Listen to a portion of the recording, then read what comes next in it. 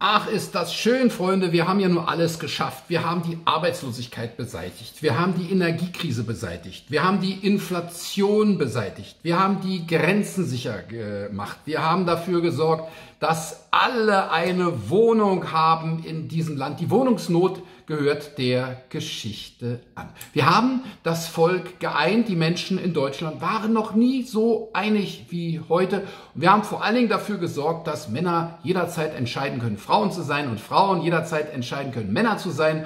Und dass man auch sagen kann, ich bin kein Frau und kein Mann, sondern ein, kein Mann, sondern ich bin divers. Das ist doch großartig. Wir leben im besten Deutschland aller Zeiten. Gut, im Falle eines Krieges sollten Männer dann wieder Männer sein. Aber das ist eine ganz andere Geschichte.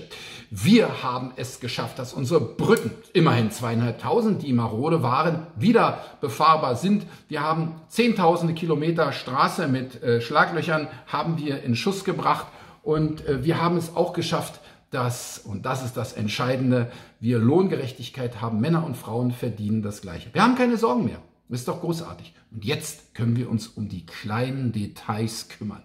Zum Beispiel darum, dass der böse Björn Höcke von der Alternative für Deutschland gesagt hat, alles für Bundland. Ja, das geht natürlich gar nicht. Auch wenn der Spiegel das gleiche auch schon gemacht hat und Beckenbauer, Gott hab ihn selig, das auch schon gemacht hat und ein ganz normaler Mensch in seinem Land sagen sollte, alles für mein Land, alles für Bundland. Ja, äh, bei Herrn Höcke machen wir eine Ausnahme, denn jetzt können wir uns um die Details kümmern. Ich finde das gut und es zeigt, dass wir in der wirklich wahren freiheitlich-demokratischen Grundordnung leben, im besten Deutschland aller Zeiten und dass die äh, Regierungsfeinde, äh, Entschuldigung, die Demokratiefeinde abgeurteilt werden.